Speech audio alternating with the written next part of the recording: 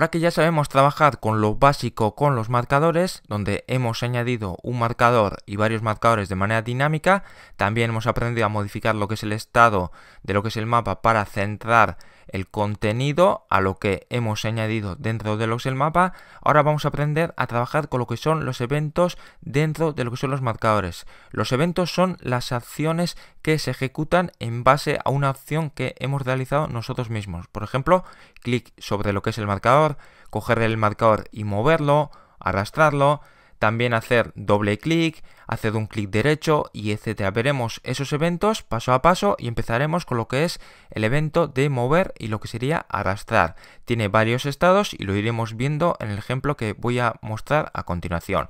Vamos a ir dentro de lo que es UI Layers, dentro de lo que es la documentación, a lo que es Marker.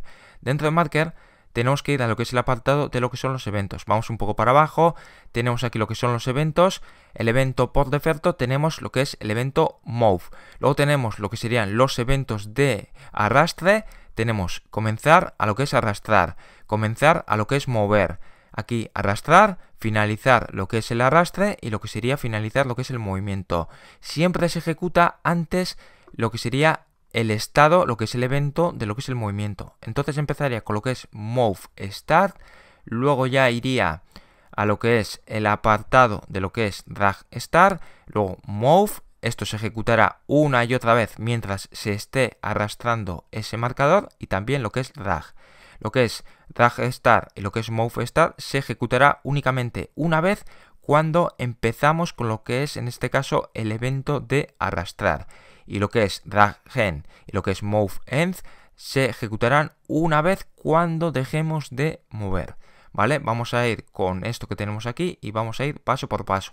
Para que esto funcione es indispensable añadir dentro de lo que es la configuración del marcador la propiedad ragable true. Si no lo ponemos, por defecto será false. Entonces tenemos que añadir también lo que sería esa propiedad, ¿vale? Vamos a ir a lo que es Visual Studio Code y en Visual Studio Code vamos a copiar lo que es el primer eh, proyecto, lo que es el marcador básico, así tenemos más simplificado lo que es el código, copiamos lo que es esta carpeta, una vez que la copiamos la pegamos dentro de lo que es el proyecto principal, lo que es la sección, ¿vale? Vamos a pegar, vamos a modificar lo que es el nombre y en este caso vamos a poner 04 marker events y añado lo que sería move y lo que es drag, ¿vale? Marker events, move drag. Vale, lo tenemos de esta manera.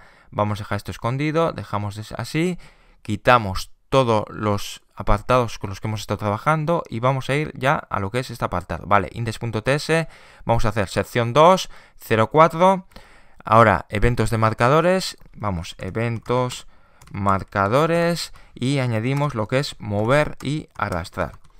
Vale, lo tenemos de esta manera, tenemos aquí lo que es la ubicación, estamos trabajando con lo que es París, aquí ya tenemos lo que es el marcador, para poder hacer que ese marcador, en este caso, sea arrastrable, tenemos que ir a este punto y después de añadir lo que son las coordenadas geográficas, tenemos que hacer coma, añadimos lo que son las opciones y aquí tendremos una de las opciones que es regable y tenemos que especificar que es true. Por defecto siempre será, en este caso, false y no se podrá arrastrar de ninguna manera.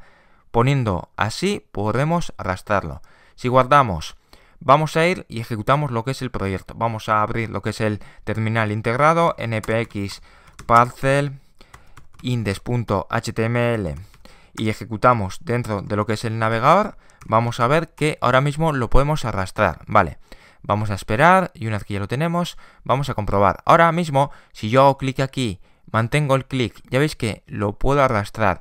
Si queréis, podéis probar con los proyectos anteriores y ya veréis que no podéis arrastrar a menos que añadáis lo que es la opción ragable true, ¿vale? Ya veis que esto se está arrastrando, por el momento no se está mostrando lo que son los eventos y ahora lo tenemos que especificar mediante lo que es el siguiente código, ¿vale? Vamos a ir a lo que es Visual Studio Code, Ahora vamos a dejar esto de lado.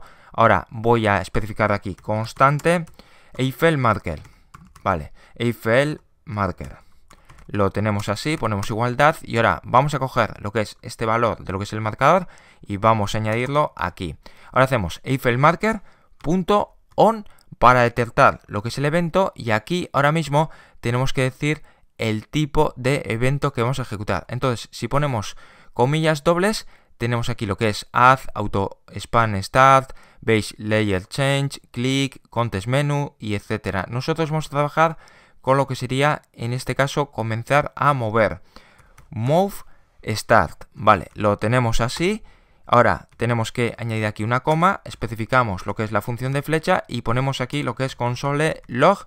Cuidado aquí, tenemos que ponerlo correctamente, console.log, empezando a mover. Añadimos lo que es el evento move start, añadimos así y empezamos a mover. Empezamos a mover.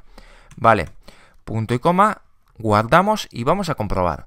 Vamos a ir a lo que sería el navegador, hacemos inspeccionar lo que es el código, ¿vale? Voy a cerrar esto, vamos a ir a lo que es la consola y aquí ya veis que ahora mismo no tenemos nada. En el momento que haga clic yo aquí y empiece a mover, ya habéis visto que aunque esté moviendo un montón de veces, solo se ha ejecutado una vez. Move start, empezamos a mover. Vamos a hacer lo mismo con lo que sería en este caso rag start.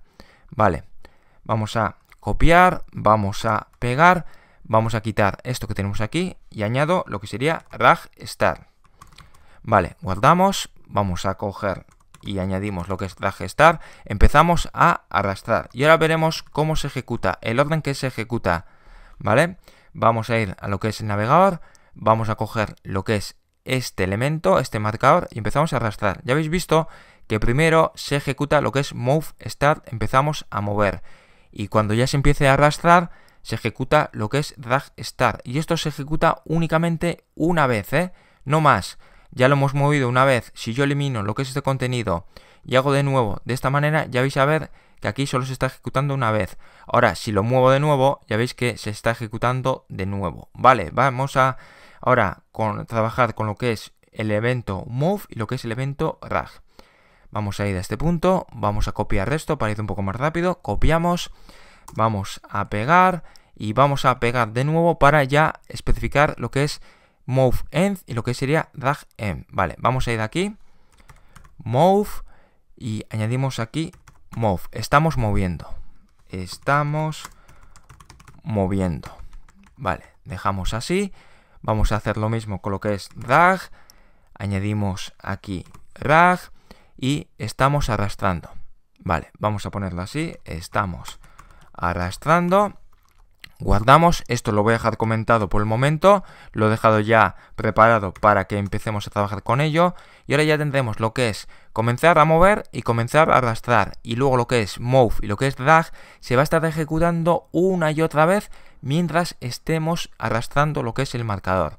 Volvemos a lo que es el navegador, ya tenemos aquí todo limpio, ahora ya vais a ver, he movido una vez, ya habéis visto que aquí mientras yo estoy moviendo esto se está ejecutando. Y si vamos arriba al principio de todo, ya veréis que únicamente una vez se ha ejecutado lo que es move start y lo que es drag start. Luego lo que es move, rag, move, rag, así en bucle mientras hemos estado arrastrando. Ya habéis visto, estamos moviendo, estamos arrastrando. Y esto se ejecuta una y otra vez mientras se está dando lo que es la opción de movimiento. Vale, si hacemos de nuevo, ya veis, aquí lo hemos hecho tenemos aquí move start y rag start. Viendo esto vais a poder deducir que lo que sería el evento move end y lo que es drag end se van a ejecutar solo una vez al final de lo que sería este apartado. Si ahora tuviéramos añadido esos eventos, se ejecutaría aquí lo que sería move end, finalizado lo que es el movimiento y lo que sería drag end, lo que sería finalizado lo que es el arrastre. Vamos a especificarlo para que se pueda visualizar. Vale, vamos a ir aquí, dejamos así y ahora vamos a hacer de esta manera, vamos a cambiar lo que es este punto, añadimos aquí lo que es drag en y añadimos en lo que es el log para que se pueda registrar correctamente. Move end, eh, finalizamos, ah, finalizamos mover, finalizamos mover, vale, lo dejamos así y ahora aquí vamos a hacer drag end, finalizamos arrastre, vale, vamos a añadirlo, finalizamos arrastre. Vale, perfecto, ya lo tenemos. Quitamos esto que nos está molestando.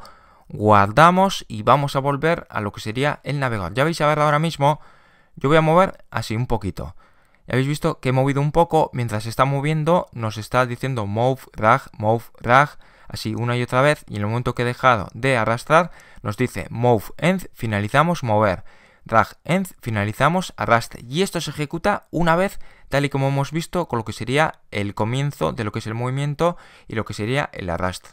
Llegados a este punto, vamos a finalizar con esta clase, vamos a pasar a la siguiente, donde vamos a seguir trabajando con lo que son los eventos de marcadores y vamos a trabajar con lo que es el evento click, doble clic y lo que sería el evento contest menu, que será el evento correspondiente a hacer clic derecho sobre lo que sería este marcador que tenemos aquí.